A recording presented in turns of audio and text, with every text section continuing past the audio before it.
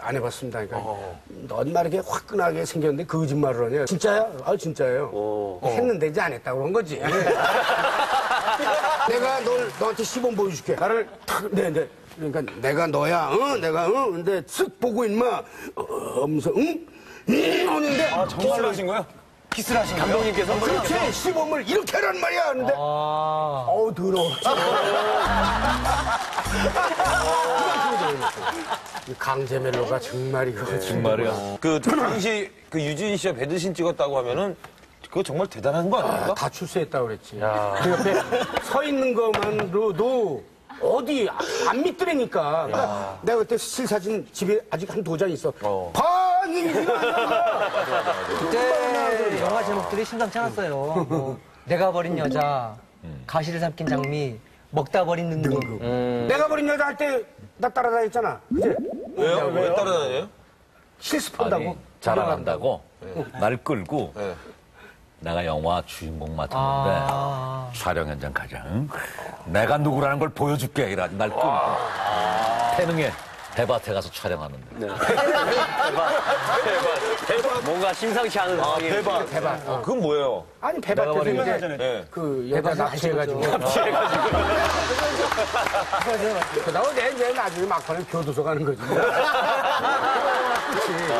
여태까지 소연기 진짜 어떻게 하는 거예요? 한 번만 한번 보여주세요. 제가 여자인데 여자 배우인데 난폭하게 하는 거. 난 보기 있어. 딱 처음에. 예. 아, 네. 아, 안녕하세요. 야, 나 따라올래? 맞을래? 어머! 그지? 팔짱 껴. 어, 어허.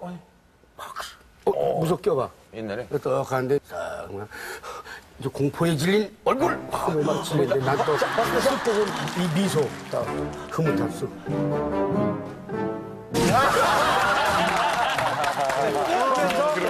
했어. 옛날에 그런 거 많았어. 그 인서트 하나 딱 잡으면은 여관 땅이 따라와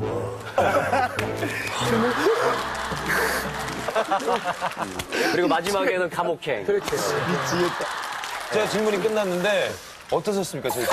재밌어 아, 재밌잖아요. 나도 재밌어 아, 박수 한 번만 쳐, 쳐주시겠습니까? 나, 누가 저를 위해. 네, 저 는. 아, 좋습니다. 아, 아, 자. 어, 사실 탁재훈 씨의 이 밥 진행은 정말 완벽했어요. 아, 고맙습니다. 어, 하지만 저 또한 완벽남이기 때문에.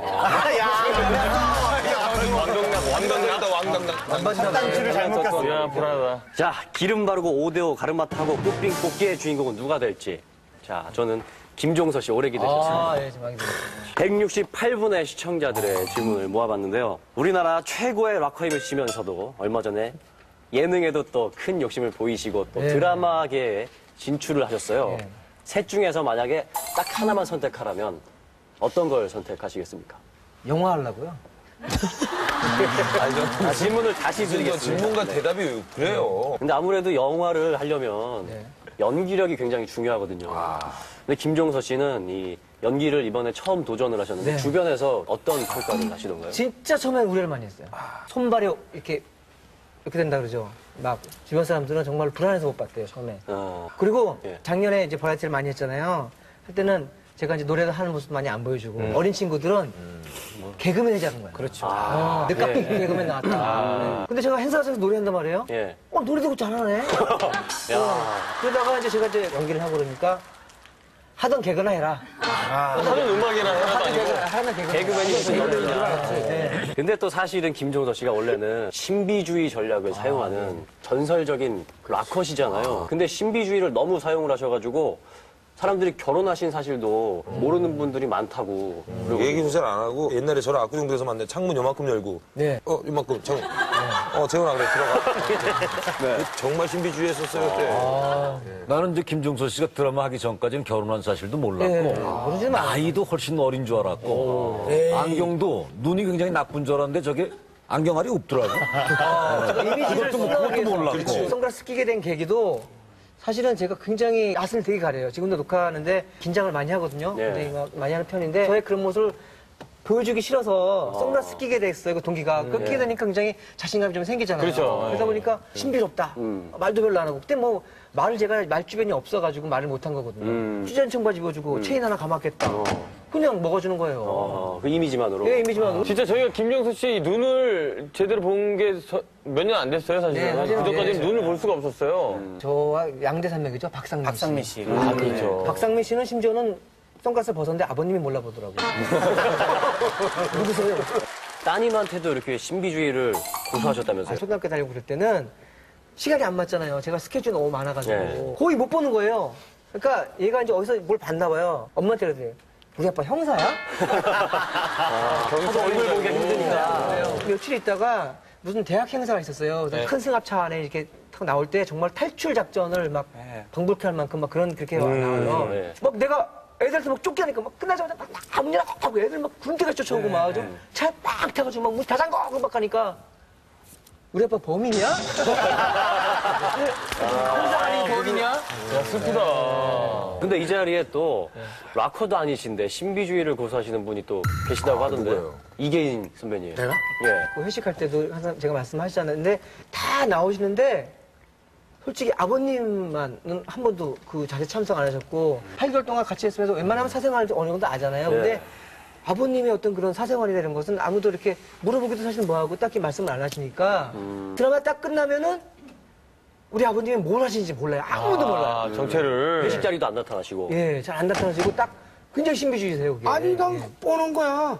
나름대로 가서 농사하고 또 닭 도 돌보고 알고 있잖냐. 상추도 길러야 되고. 아니, 또그 내가 안 가면 돌보는 사람이 있어요. 그리고 전원일기 실제 주인공이세요. 실제로도 그 논밭을 가세요. 나이가 들다 보니까 2차 가면은 술에 의존해가지고 말이 많아진단 말이야. 아. 그러니까 실수하실까봐. 그렇지 좀 취해놓으면은 뭐 너 말이야 넌 연기가 어떻고 말이야 넌 막 그렇게 안 봤는데 그럼 그 다음날 기억도 못할 소리 괜히 할 수가 있다고. 예. 나이 들면 야 내가 어느 정도 먹으면은 가야 되겠다.